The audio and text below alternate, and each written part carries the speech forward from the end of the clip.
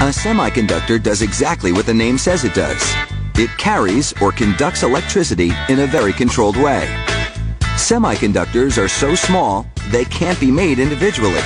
So instead, they're made on a disk like this that can hold up to 90,000 of them. Once broken apart from the disk, a single semiconductor isn't even the size of a penny.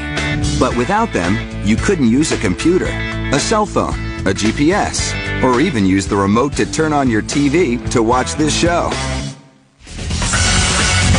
Semiconductors get their start on silver disks, or wafers as they're called, that are made of pure silicon. Silicon in its raw form is one of the most abundant elements on Earth.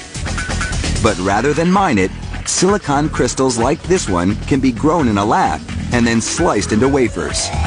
It's perfect for semiconductors because you can easily control how much or how little electricity silicon conducts by deliberately contaminating it with other things later in the process. But because of that, the wafers have to be kept super clean. Just a single speck of dust or the wrong kind of contamination could ruin the silicon. So a robot unpacks the wafers in a sterile dust-free room and scans the ID number that's printed on each wafer so it can always be traced. Then, the robot stacks the wafers in batches of 25 inside airtight pods.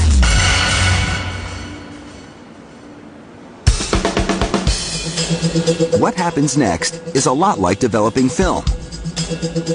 Only instead of developing a photograph when the film is exposed to light, you develop a roadmap on the wafers for the copper circuits that will carry the electric currents through the semiconductors.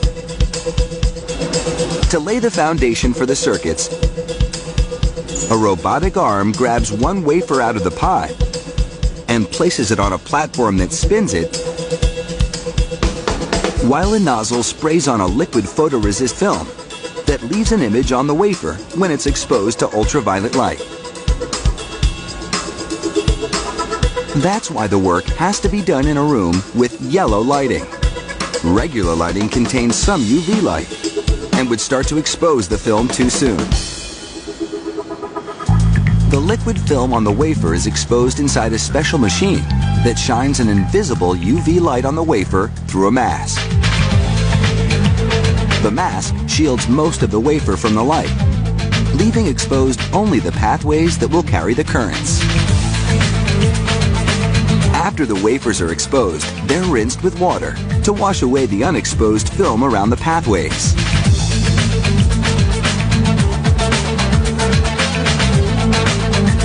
Then, a nozzle sprays developing fluid over the remaining film and instantly the pattern for the electric pathways appears on the wafer.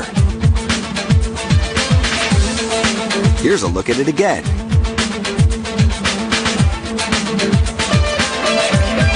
The roadmap that tells the electric currents where to go in the semiconductor. But the map itself can't conduct electricity. So the wafers rotate through a chamber where an invisible ionized gas called plasma creates high-energy microwaves that etch microscopic trenches into the pathways. The trenches are later filled with copper, which is an excellent conductor of electricity. But before the copper goes in, the wafers pass through a machine that adds a carefully selected contaminant, such as arsenic or phosphorus, to the silicon. It's called doping, and it changes the number of electrons in the silicon. And by controlling the electrons, you can control the way electricity moves through a semiconductor and from one semiconductor in a device to the next. After the wafers are doped, the copper, which actually carries the electrical currents, finally layers on over the entire wafer and gets buffed down in a machine, so it's left only in the trenches that were etched along the pathways. And that completes a circuit.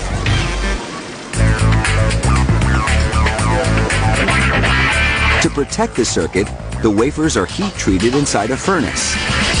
The heat causes non-conductive chemicals called oxides to form on the wafers to insulate the copper pathways. And now, for the truly amazing part.